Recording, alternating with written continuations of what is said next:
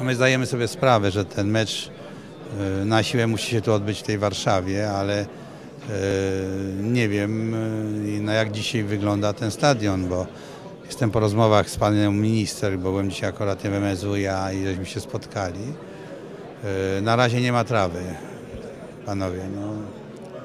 A ja na pewno nie będę czekał tak jak e, Ekstraklasa, że dzisiaj jest szósty, jeszcze nie wiadomo czy, czy ten mecz się odbędzie, czy nie. Już raz e, mieliśmy mecz tutaj 6 września z Niemcami, odbył się w Gdańsku.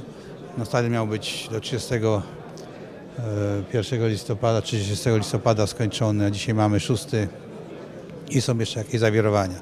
Nie ja buduję, nie ten, ale myślę, że w tym tygodniu się wszystko wyjaśni. Nie ukrywam, że ten mecz y, musi się tu odbyć.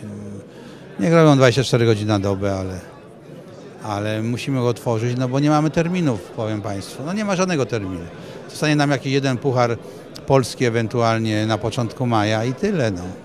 Ale ile pan czasu daje e, organizatorom na, na ostateczną decyzję? Znaczy, kiedy pan na przykład może podjąć taką decyzję, że jednak gramy z Portugalią we Wrocławiu? E, Nie, na razie nie przyjmuję to do wiadomości, wie pan.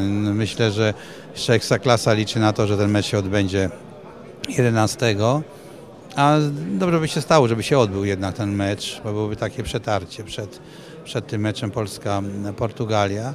Ja daję drugiej sobie sprawę, że warunki jakie są dzisiaj, że jest tam minus 20, 16-17 stopni, ale to trzeba płytę grzać na okrągło.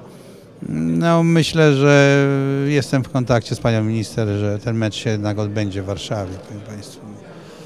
Chyba, że, że coś się znowu już ktoś nie, nie jakiś strażak czy policja nie da zgody, no to e, no zobaczymy. Myślę, że w czwartku będą, będą już wszystkie decyzje.